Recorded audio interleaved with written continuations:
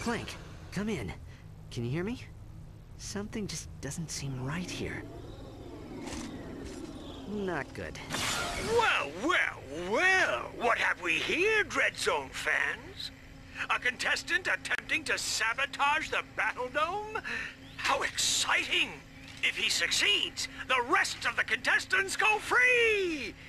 But if he fails, I've wired the Battle Dome with six gigatons of nitroglycerin. If Ratchet doesn't disarm the detonator before time runs out, the Battle Dome will be blown into a trillion pieces! That's insane! Au contraire. If I was still on the Battle Dome, then it would be insane. But I happen to have a truly lovely view of the action from a remote location. What about the thousands of fans in the Battle Dome? You gonna kill all of them, too? Of course not! You are! Unless you shut your cake hole and get moving. Go on now. Your audience is waiting. Good evening, ladies and gentlemen, and welcome to, uh, to the final episode of DreadZone. Oh, God!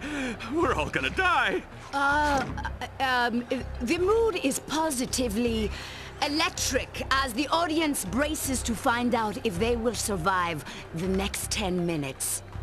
I can't believe I'm reading this. I had my whole life ahead of me. I was gonna be a ballet dancer. Pull yourself together, you blabbering idiot! Ah, thank you, Juanita. Superstar contestant Ratchet faces his toughest challenge yet to deactivate the Battle Dome's formidable defense systems and defeat Gleeman Vox himself.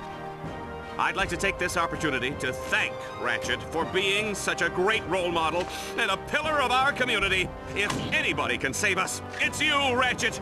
We're rooting for you, little buddy.